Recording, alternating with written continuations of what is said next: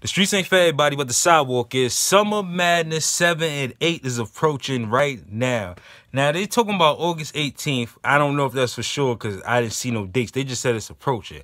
Now, being that it's approaching, Tay Rockadon, Tay Rockadon is looking for an opponent for one of the Summer Madnesses because I think he's most likely he is locked in for Hitman Holla. But I think he might be locked in for an opponent on one of them already. It's Hitman Holla. But he's looking for another opponent on the next one, which he got. Now, for the past two weeks, him and Nu Jerzey Twork has been going back and forth. And Nu Jerzey Twork had just caught a 30 on Shotgun Suge, right? And now in a fire battle. And Tay Roc just took a loss to Goodz in a 30. In a fire battle, but Goodz 30 them. You know what I mean? And do you think that this right here will be a fire battle?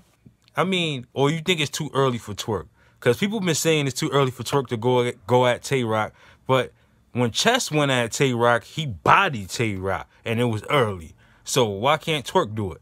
I'm just saying, and I don't even rock with Beaverface. Beaverface know that, and Moose Face know that too. That's Twork and, and Rome DMV. You know what I mean? Beaverface is Twork, Moose Face is Rome. But anyway. Do y'all think this would be a fire battle? I mean, truthfully, the climate right now, Tay Roc could get walked on. I'm not even gonna lie. Tay Roc could get bodied because Tay Roc never really had balls. He's the self-proclaimed gunball king. Like he ain't really had no haymakers. His last haymaker was a chest ball. That um keep cutting, cutting like the seatbelt won't buckle up. That's chest ball, man. I'm never gonna stop telling y'all the truth. Chest versus ab. That's chess, and that's where he got that from. Who was standing first row right next to chess? Boom. So anyway, do y'all think this battle will be fire? Because I got Twork in this battle.